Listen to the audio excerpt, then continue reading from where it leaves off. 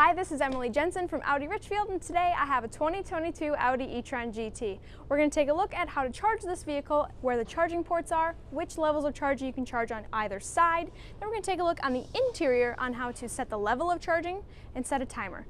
We'll also take a deep dive underneath the car and take a look at the battery firsthand and see that super smooth surface for that super low drag coefficient and actually a lower center of gravity than the R8. Let's take a look. So now we're on the passenger side of the e-tron GT where you're going to have your level charging for 1, 2, and the DC fast charging which is level 3. So you'll release the door right here, pushing on that edge, and then you'll reveal your charging port. To charge at level 3, you'll flip down this little door. We all see that there. And then you grab your charger. Luckily, we have a level 3 charger here for in the shop when vehicles are being worked on. So we'll put this in here. Wait for that click that you hear there. Then you'll see when it starts illuminating, it'll turn white first. It'll run your initialization process. It'll check and make sure everything's all good. There's no weird voltages. There's no weird anything going on there. Then eventually when it turns to a pulsating green, that's when you know it's charging. The other icons that are in here is it'll turn red if there's a problem. It'll turn green if it's solid, full done charging. It'll also pulsate blue if it's on a timer. So that diagram is listed right down in here, which is what I'm reading off of. So it's still initializing here, and if I turn and look at the charger, it says running isolation test. That's ensuring that the vehicle is grounded, it's all set and ready to go, and would you look at that, it's charging. Pretty easy, pretty simple. When you're done charging, you're ready to disconnect the charger. That's when you press your charging button, and wait for the light to come on here to turn. See how that light turned on? That's when you know it's released. Press the button, and pull out. Then bring it back over to the charger. Then to close the door, push it down and push your finger right in over right where it is. That's a level look at this charging on level 1, 2, and 3 on this side. We'll hop over to the driver's side to demonstrate level 1 and 2 and the charger that comes with the car. All right, so taking a look at the charger that comes with the car, this is the charger. This is your box right here, which will tell you when it's connected to the main ground, when it's connected to the car, or if there's a problem with this transformer here. There are two attachments. This is for level one, which is your standard 110 outlet, which you can see here, and there's a level two attachment as well. I left that in the trunk. For this purpose, I'm gonna show it with level one.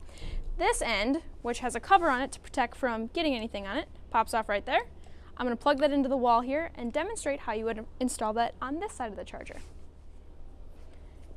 All right, so after I'm plugging in my charger in the wall, I would go to the car, open this door, and you'll notice there's no spot down here for the level 3 charging as that's only available on the passenger side. So when everything's all plugged in and good to go, I've confirmed it by looking at the transformer box.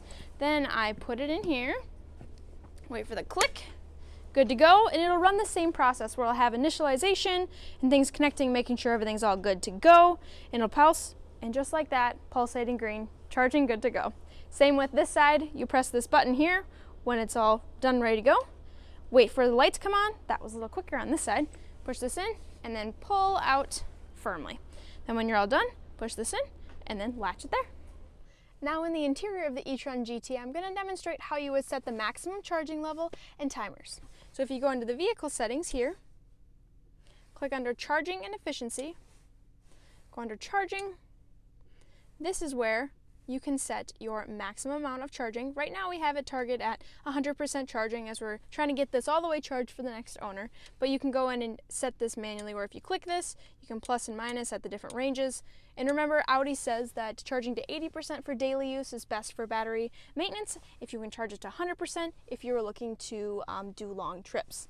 Then, so after we set this back to 100%, good to go and move on to the next side, that's where you can go in and set your different timers when you want it to charge. Let's say, for instance, you leave at 7.45 every morning. It'll be charged with the interior set to the correct temperature you want. Let's say you want to set it 72 degrees and leave it 7.45 every morning.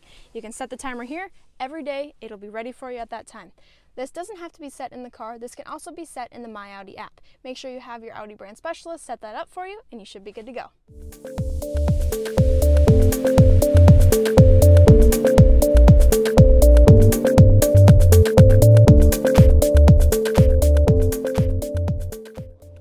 We're taking an insider look at the e-tron GT and actually going under the car so you can take a first look at the battery.